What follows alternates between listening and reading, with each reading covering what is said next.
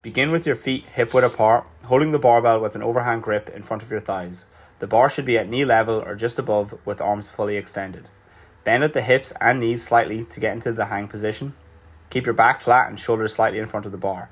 In a single explosive movement, extend your hips, knees, and ankles while at the same time shrugging your shoulders. Bar travels upward, quickly drop under the bar by bending your knees and catching the bar in the front rack position. Your elbows should be high and pointed forward. Stand up by extending at your hips and knees fully to complete the movement.